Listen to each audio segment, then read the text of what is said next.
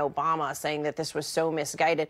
And the reaction from the White House to all of that was that's really no comment. They really didn't even address it.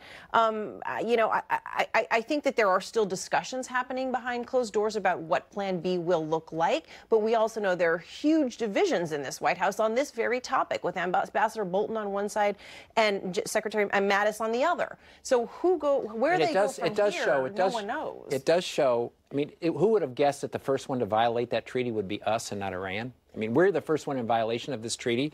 And I think, as I listened to John Bolton earlier, I couldn't help but think we were in a Back movie when the tag team of Benjamin Netanyahu and John Bolton in 2003 was pushing almost Nuclear the exact same weapons, almost the exact same out. language you just substitute Iran in Iraq. It's almost the exact same language. We've been to this rodeo before. It cost us thousands of lives and trillions of dollars and it feels like we're going to the same place again. Okay so, Susan I